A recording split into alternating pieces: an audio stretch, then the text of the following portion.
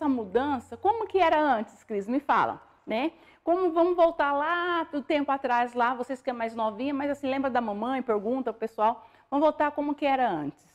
A família, os amigos em volta da mesa, né?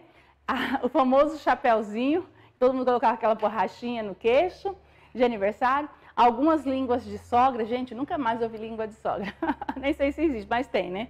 Aquelas línguas de sogra que as crianças brigavam, esperando aquele momento pegar aquela língua de sogra, que duas assopradas rasgava, né?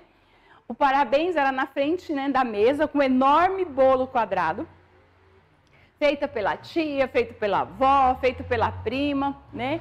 Os enfeites, era, os bolos era granulado, aquelas bolinhas lá de plásticos, tudo tal, no brigadeiro também. E ali era aquilo que tinha. E a decoração era um balãozinho na parede, umas toalhas de plástico que achava, ou com tema ou sem tema, e colocava na mesa. Era basicamente isso. Era composta por alguns balões e nada mais. Da... Isso estou falando de 30 anos atrás. Era isso que as pessoas tinham acesso no mercado de festa. Era isso que elas conseguiam fazer um evento em casa. Hoje, tudo mudou, graças a Deus que mudou. Então, entender o mercado atual, entender que essas mudanças você tem que acompanhar na mente e acompanhar também de frente. Hoje, tudo mudou. As empresas se especializaram. E como surgiu novos negócios voltados para os segmentos de festa, como surgiu novas empresas que olhou para esse mercado e falou: vou investir, é o que mais cresce, é um dos que mais cresce.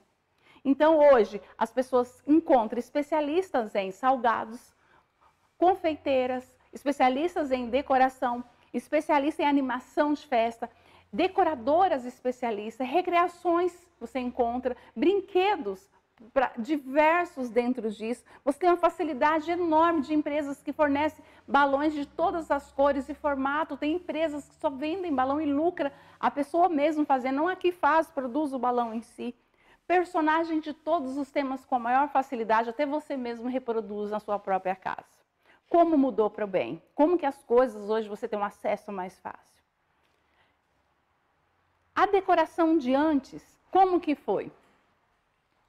Era qualquer tipo de decoração que as pessoas usavam, letras, né? Pegava letras coloridas, alguma coisa colocava. O nome de isopor na parede, ou às vezes não, parabéns, né? Na parede. Era feita de isopor. Eu estou lembrando uma história que quando a minha irmã decidiu fazer aniversário da minha sobrinha, agora acho que ela tem 27 anos, de um aninho. E aí a gente achou um lugar que tinha um castelinho de isopor. E nós fomos buscar esse castelo de isopor. E foi uma comédia, porque a gente, o vento derrubava o castelo, era um terror, e nós não tínhamos carro, era no ônibus para trazer, foi um terror para chegar aquele castelo inteiro lá para não quebrar o castelo de isopor. Quanta mudança! Aqueles exageros na mesa, né? E grandes decoração na mesa, exagerados de isopor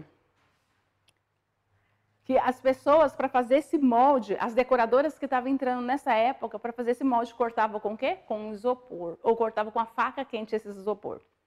Para poder fazer os personagens. Para dar brilho, volta, volta, volta slide. Para dar brilho, foram utilizados purpurinas, lantejoulas, né? Papel crepom era o aliado para poder, era indispensável em tudo. Toalha de papel crepom, não sei o que, papel crepom. Dar de papel crepom, que era bem colorido e fácil para fazer. As toalhas de mesa, das mesas, a toalha para a parede, tudo precisava. É... Aí veio para a mudança do quê? Do TNT também, né? Aí as pessoas usavam como acessórios de brincadeira os óculos. As crianças ficavam esperando o fim da festa pegar o balão, que era o que elas tinham acesso, era o balão. Formava todo mundo em volta da mesa, esperando a hora de entregar o balão para ser espalhado. Nem que era para brincar dois segundinhos e estourar, mas esperava e feliz. Era isso que achava antes.